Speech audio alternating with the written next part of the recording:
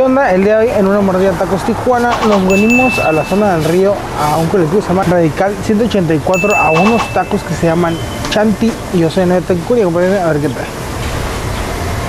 El día de hoy probamos dos tacos, uno que es el taco de suadero que vale 35 pesos y el otro un vampiro de adobada que vale 60 pesos. Bueno, pues el primero que nos vamos a echar es el de suaderito y chécate nada más cómo nos lo dieron. Viene con dos tortillitas, la tortillita típica de paquetito, viene el suaderito, cebollita, cilantro, una salsita. Nos vamos a echar directamente así y luego le vamos a echar Hola. limón a ver qué tal, ¿no? Buenas. Ah, a ver, pídate primero. Que usted me gusta aquí. ¿Usted trabaja? Mm. Sí. Sin aguacate. Y, y luego me pidió dos de tripa. A ver. ¿A dónde?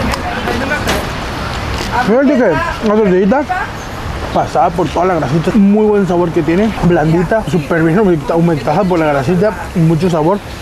El suadero también tiene mucho sabor, pero fíjate que está secón. Si me entiendes, Este, el, el suadero tiene que ser súper jugoso porque está bañado en su propia grasa. Este se siente seco, se siente de buen sabor, pero seco y aparte como está súper, súper picadito, pues se de pierde un poquito el sabor, ¿no? Pero vamos a dar otra mordida a ver qué tal. Ah, A ver, esta está muy buena, picosona, pero está muy buena. Pero sí, está muy seca la carne. Pues el taco le vamos a poner un 6 punto. El siguiente es el vampirito y chécate cómo nos lo dieron. Ay, padrino era.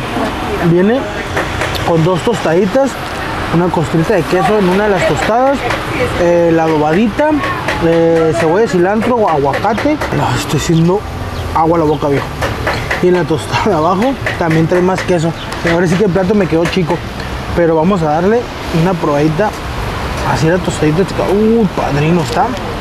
Bueno, vamos a juntar las dos. Tostadita doble. Déjame cambiar de mano porque no sé que, que se nos caiga y nos quedamos sin probar. Ahí te va. Bien doradita. Yo creo que sí. Mm, no mames. Mm. Otro peo. Desde que vi el color de esa adobada, dije, va a tener un saborzazo. Y sí, efectivamente tiene muchísimo sabor. Ve. Ve el colorcito.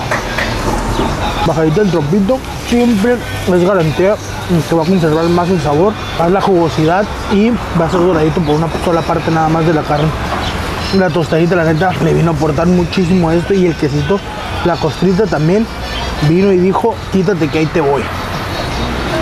Déjame le pego otro mordión. Tiene El aguacate es auténtica pulpita de aguacate, entonces le hace cremosidad necesaria que ocupa ese taco y por eso a ese taco le vamos a poner un 8.9.